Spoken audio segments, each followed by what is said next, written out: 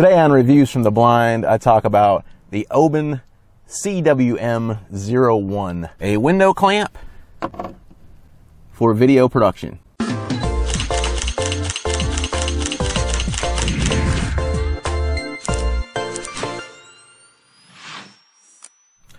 Hey folks, Matt Cuda here. Um, just wanted to do this quick review on this um, Oben CWM01. And what I like about this is it allows me to clamp on my window here and then attach a video head to this. This is designed for video. I suppose it could work for video or still shots, but this one's designed for video and I think it's going to work for what I want it to do.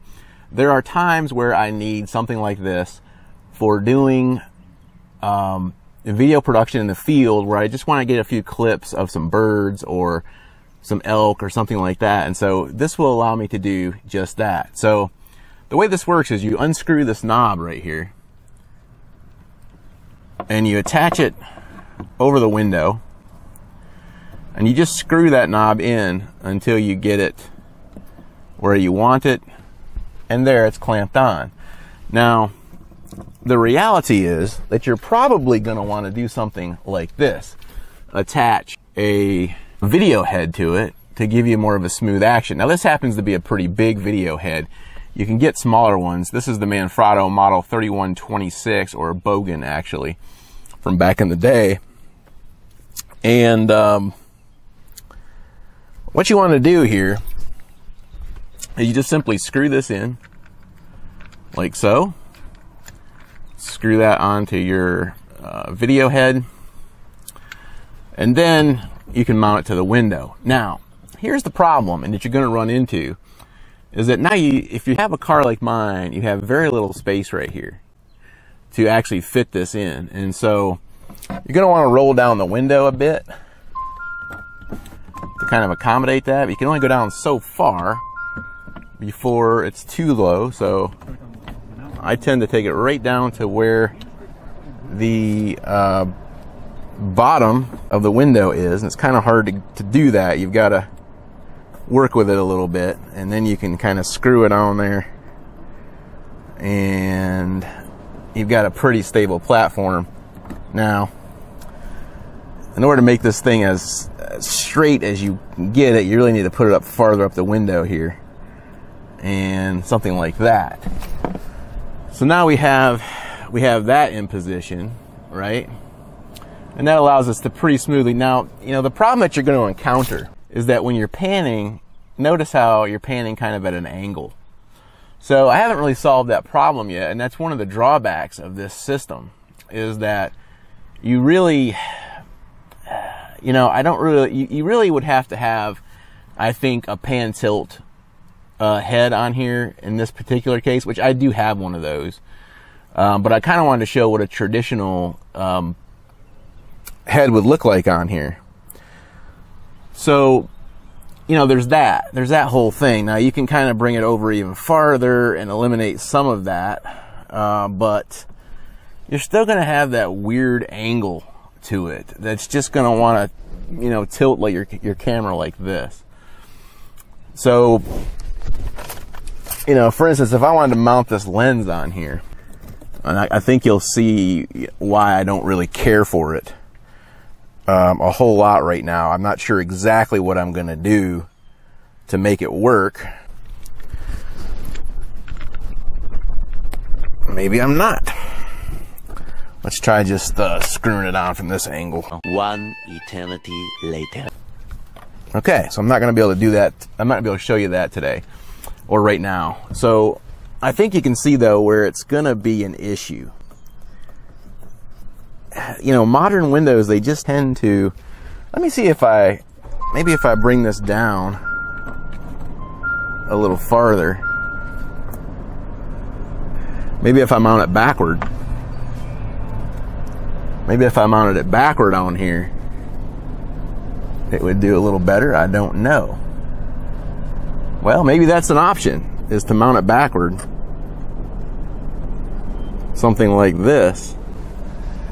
Nah, you're still gonna get that, you're, you're still gonna get that wobble in there. So, you know, bottom line, guys, is I'm not really sure if this is going to be something for you or not. Now, you can always, you know, set it up, like I said, with that tilt shift, not tilt shift, pan tilt uh, head, and I think you're going to be in in in business. All right, guys. So hopefully you can see me here.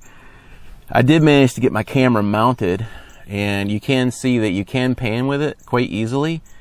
It does take, uh, I think, up to 10 pounds of weight, and so it is practical. Now, if I could get a little bit different mount here, so it's not doing this weird panning motion, I think we'd be in business. Um, you know, the problem is going to be getting a head that really matches it, but there's barely, uh, look up here guys, there is like barely enough clearance right here. And so I am skeptical still of, of what this can do.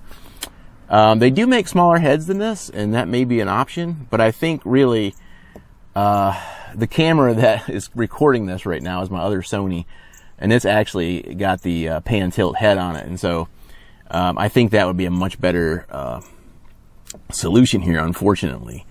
Um, if there was a way to change this so that it wasn't tilted back, certainly it would help. Um, but I think you can see where it is possible. And so the reason I bought this is because um, I do some video work in the field, and it's important for me to have a platform that's more, you know, that's fairly steady for uh, for this. Now you can see it's a little wobbly it, it's a little wobbly, so you're still gonna have to be careful.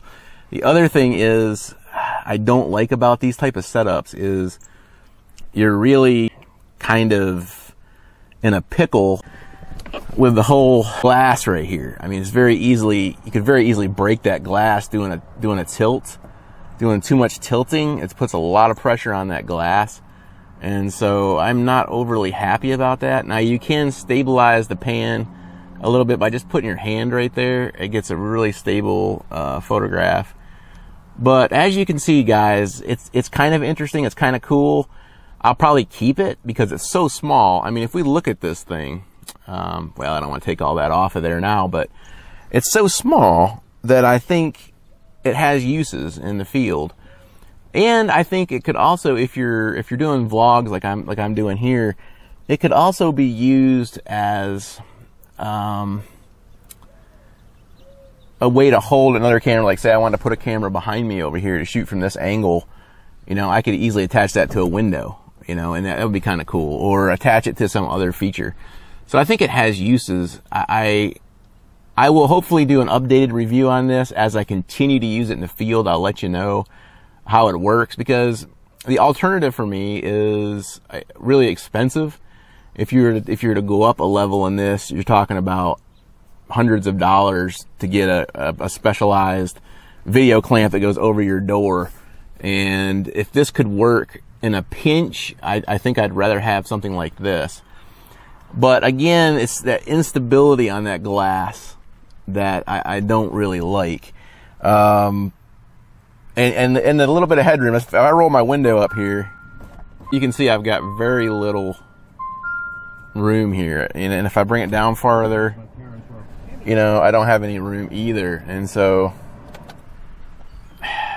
I mean, I'll, I'll, let you be the judge on that. But anyway, they're not bad priced. I think the, this one comes comes in between thirty-five and forty dollars. Uh, they have a Manfrotto version that ha- it's right around fifty dollars. So, anyway, that's really all I have for today. Thanks for watching. Make it a great day and get out there and enjoy nature. Bye bye.